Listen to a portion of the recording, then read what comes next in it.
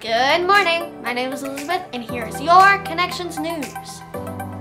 Hey, you mind if I join in on this? Sure. Cool.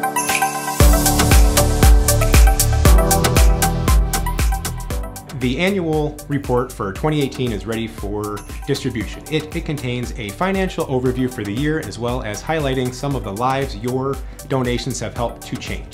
If you would like a copy, please stop by our Welcome Center in the, in the lobby and request the annual report. Have you been enjoying attending Connections? Mm -hmm. Are you interested in knowing more about our church? Yep. Wondering what your next step might be? Of course. Curious about membership? Always. Then our starting point class is just for you. For me? Our next class will be held on April 7th after the second service. The class will last about 90 minutes, lunch will be provided, and kids are always welcome. Not my kids. You can reserve your spot by going to my3c.org slash starting point or the sign up tab on our church app.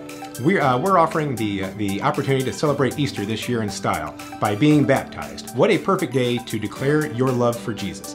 If you know you need to be baptized or if you are interested in learning more about baptism at Connections, please go to my3c.org forward slash baptism. There you can get all of the information you'll need as well as the form to sign up for our Easter baptism. This year, why not take the ultimate plunge?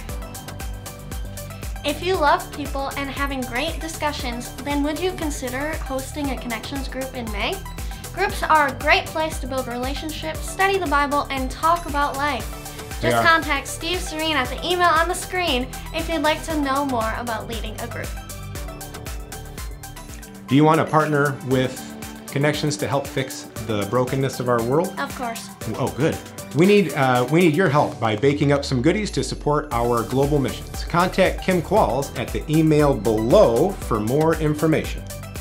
It's not too late to help Fight Ministries finish construction on safe houses for victims rescued from sex trafficking.